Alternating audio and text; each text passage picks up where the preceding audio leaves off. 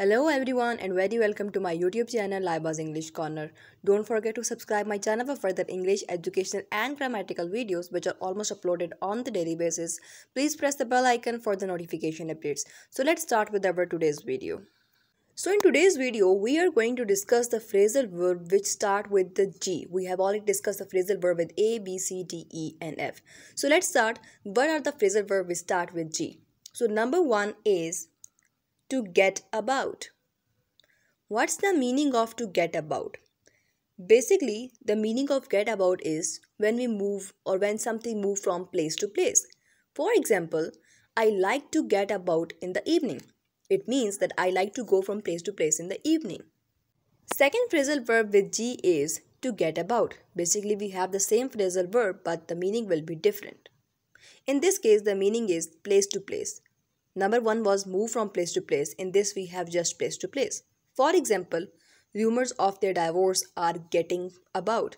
It means that the rumors of their divorce are spreading everywhere. Number three phrasal verb with G is to get above ahead.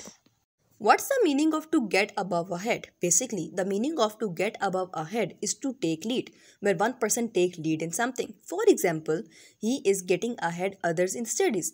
It means that he is getting ahead of others in the class. Number fourth is to get along with. What's the meaning of to get along with? Basically, the meaning of to get along with is to manage to survive in a particular condition. For example, they agree to get along with their business. This means that they agree to survive in the particular terms and condition of their business. Number fifth phrasal verb with G is to get at someone. Basically, to get at someone means to criticize someone. When we criticize someone, we say to get at someone.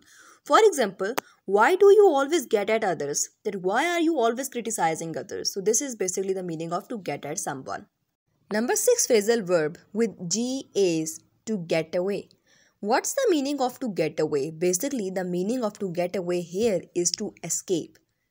When we escape something, we say to get away. For example, I often get myself away with my busy routine. It's me that I often escape myself from my busy routine. Number seven phrasal verb is to get back at. What's the meaning of to get back at? Basically, the meaning of to get back at is to take revenge. When we take revenge to someone for something, we say to get back at. For example, we should not get back at others. It's means that we should not take revenge from others. Number 8th phrasal verb is to get behind. What's the meaning of to get behind? The meaning of to get behind is to left behind when someone left behind.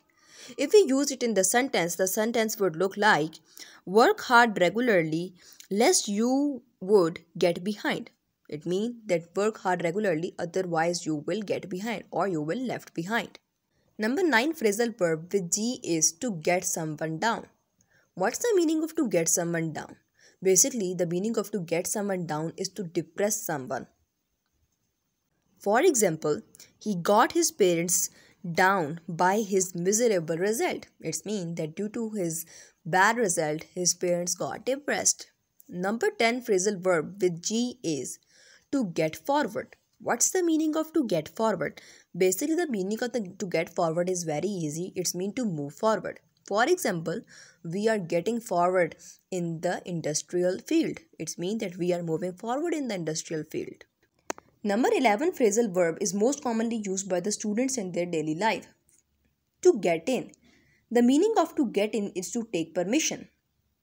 We can say that all students become silent when they get in the library. Basically, it have two meaning to get in basically to enter or to get in to take permission. This phrasal verb basically have two meaning. Number 12 phrasal verb with G is to get into. The meaning of to get into is to love someone. For example, he has got into the study of history that he has got a lot of love and a lot of attraction in the study of history. Number 13 is to get off. The meaning of to get off is to run away. If we use it in the sentence, it will look like the prisoner got off the police custody. It means that the prisoner run away from the police custody. Number 14 phrasal verb with G is to get out. The meaning of to get out is to go out. For example, the teacher ordered the student to get out of the class. It means the teacher ordered the students to go out of the class. Number 15 phrasal verb with G is to get through. What's the meaning of to get through? Basically, the meaning of to get through is to successful. When somebody got success in something. For example, my sister got off the MPhil exam with the first position. It means that my sister got first position and she is very successful in the MPhil exam. Number 16 is to get to. What's the meaning of to get to?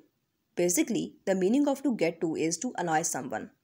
For example, you should not let him get to. You should not let him get to you. It means that you should not annoy him, otherwise, he will get to you. So thank you so much. This was all from my side. This was the video of phrasal verb with G. We have uploaded phrasal verb with A, B, C, D, E and F in detail.